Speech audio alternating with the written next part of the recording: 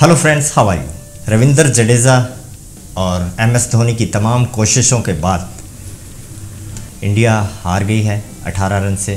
New Zealand win bye 18 run हमारे वो heroes जिनसे उम्मीद थी हिटमैन विराट कोहली, के राहुल, बिल्कुल नहीं चल पाए सिंगल सिंगल रन पे चले गए। इत, बहुत बड़ा झटका था ये। मतलब आप ऐसा समझे कि 11 प्लेयर्स की जगह सिर्फ़ आठ प्लेयर ही, आठ प्लेयर्स ही थे। हीरोज़ की बात जब करते हैं तो हीरो दिखता है हमें आज के मैच में रविंदर जडेजा। नो डाउट रविंदर जडेजा ने बहुत कोशिश की और बिल्कुल उस समय ज़रूरत थी, जब वो रविंदर जडेजा आउट हुए, उस समय बिल्कुल ऐसे ही शॉट्स की ज़रूरत थी रन्स निकालने थे तो उनकी कोई गलती नहीं। चलिए अब नज़र डालते हैं थोड़ी हाईलाइट्स पर।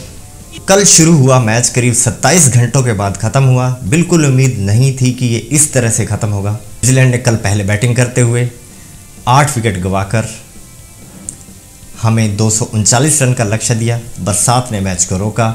फैंस इंतज़ार करने लगे बरसात रुकेगी मैच शुरू होगा और हम जीतेंगे।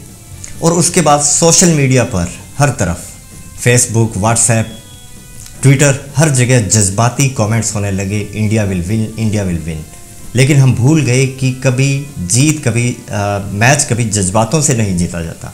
और बिल्कुल वही हुआ उस टीम जिससे बिल्कुल उम्मीद नहीं थी कि इस तरह कि वो टक्कर देगी और और उस टीम ने हमें 18 रन से हरा दिया।